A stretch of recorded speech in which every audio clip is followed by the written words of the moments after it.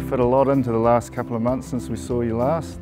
We've done our complete exterior and interior fit outs, all our drainage, driveways and landscaping. The biggest challenges have always been with time scheduling and fitting all our subcontractors in there, keeping everybody happy so they do a good job.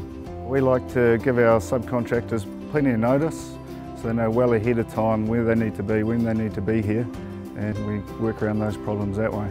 We're just doing our final touch-ups with the paintwork, get the cleaning team through and the final touches with the landscaping. This development addresses its context really well. Um, for a start it tends to follow the contours of the land and also it overlooks the nice park on the other side.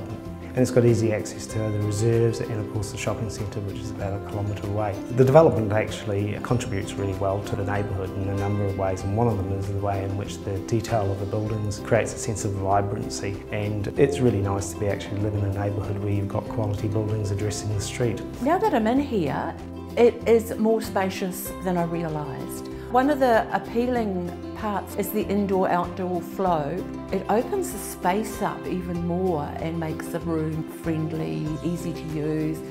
Being an apartment, you definitely have to downsize. That's all part of moving from what has been the family home into the next stage in your life. Plenty of space in the lounge with cupboards and shelves. In your kitchen, in your bathroom, wardrobes with storage. Get rid of the stuff you haven't used for 10 years and enjoy clean, easy living. One of the nice features about the design is the, is the way they've actually put the storage units at the back as well as the cars, so people coming and going have a natural tendency to actually meet each other, meet and greet and understand who their neighbours are. The council requirements, uh, we've well exceeded those for our soundproofing through the concrete mid-floor and through the block walls. We've moved to using LED lights as standard just to save energy there and the way these units are set up, they get all day sun from both sides so they're nice warm little units. It was a really good idea that Horncastle did.